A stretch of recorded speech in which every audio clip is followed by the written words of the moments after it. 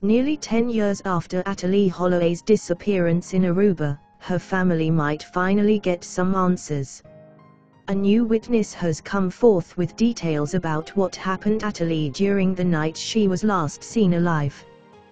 Well, May the 30th marks 10 years since Natalee Holloway went missing during a class trip in Aruba. Despite multiple extensive searches, Natalee has never been found. That might now change, thanks to a new eyewitness report. A witness claims to have spotted Natalee and the main suspect in her disappearance, Joran van der on the last night she was seen alive. Natalee Holloway's disappearance, witness saw her the last night she was alive.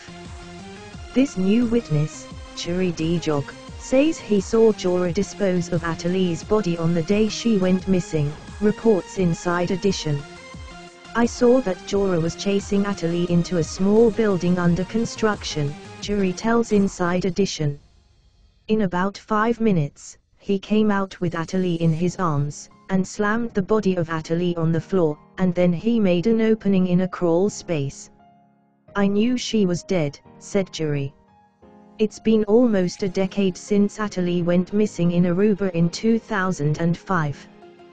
Why did Jurrien wait so long to come forth with this testimony? He was involved in illegal activities at the time. He was finally motivated to go to the police after he saw a television report where Joran confessed to dumping Natalee's body in the sea, a claim Juria clearly denies.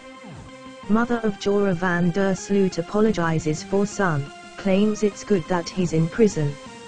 If what Juria says is true, we might figure out what really happened to Natalee. Even more important, her family and friends might finally get some much needed closure.